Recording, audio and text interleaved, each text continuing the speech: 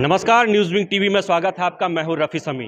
झारखंड विधानसभा शीतकालीन सत्र आज से शुरू हो रहा है। हमारे साथ मौजूद है मांडर विधायक शिल्पी नेहा तिर्की जी। मैम, जिस तरह से विपक्ष कई मुद्दों को लेकर सरकार को घेरने की कोशिश में है चाहे वो धीरज साहू का मामला हो ईडी का मामला हो, या झारखंड में बिगड़ते लॉ एंड ऑर्डर का मामला हो, क्या कहना है आपका?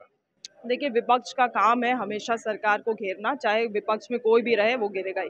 मगर ये बात है कि जो अहम मुद्दे हैं उनसे डाइल्यूट ना करे बीजेपी क्योंकि अभी जो धीरज साहू का मामला आ रहा है, वो आईटी केस है। आईटी उसमें कमेंट करे, मिस्टर धीरज साहू उसमें कमेंट करे। ये भाजपा बीजेपी जो है, वो ईडी या सीबीआई की एजेंट तो नहीं है कि वो कमेंट कर रही है कि इसमें किसका पैसा है, किसका नहीं पैसा है।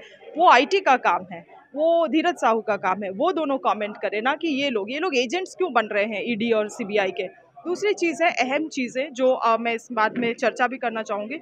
वन संरक्षण संशोधन 2023 जो आई है इसके अंतर्गत देखिए, ये तमाम मुद्दे हैं जिससे भाजपा सरकार लोगों की नज़र को भटकाना चाहती है।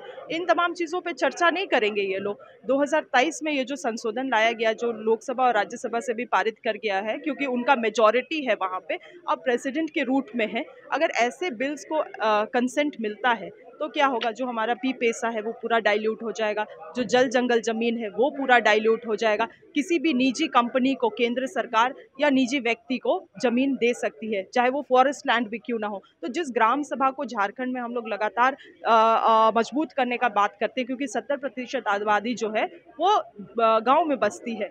वो वो तमाम चीज़ों को तो डाइल्यूट कर दिया जाएगा, कमज़ोर कर दिया जाएगा। वो चीज़ें कमज़ोर होंगी तो झारखंड राज्य अपने आप में कमज़ोर होगा। ऐसी चीज़ों में ये क्यों नहीं बात करते? हैं तो इन इन चीज़ों पे हमें भी जवाब चाहिए। जहाँ तक भ्रष्टाचार का बात है, कोई भी भ्रष्टाचार व्यक्ति को आप उठा के देख लीजिए।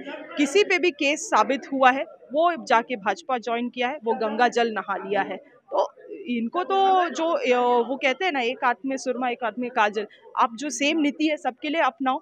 अजीत पवार जैसे लोग के ऊपर आपने इतना भ्रष्टाचारी का गीत गाया और जाके अगर वो आप भाजपा ज्वाइन कर लिए तो अब उनके ऊपर कोई कुछ नहीं बोलने वाला है। तो ये जनता भी इन तमाम चीज़ों को देखे और समझे।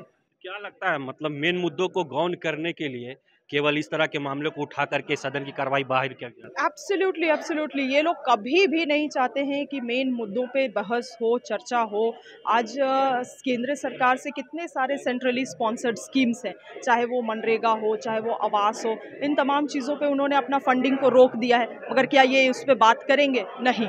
उनमें चीज़ों में बात नहीं करेंगे। ये केवल और केवल नज़र भटकाने का काम करते हैं। सुना आपने ये थी कांग्रेस की मांडर विधायक। साफ़ कहा है कि विपक्ष जिन मुद्दों को लेकर के सदन में आवाज़ उठाने की कोशिश करेगा, या बात कर रहा है, वो मुद्दे, जनता के वो मुद्दे नहीं हैं। मेन मुद्दे को गौन करने की कोशिश विपक्ष हमेशा से करता रहा है।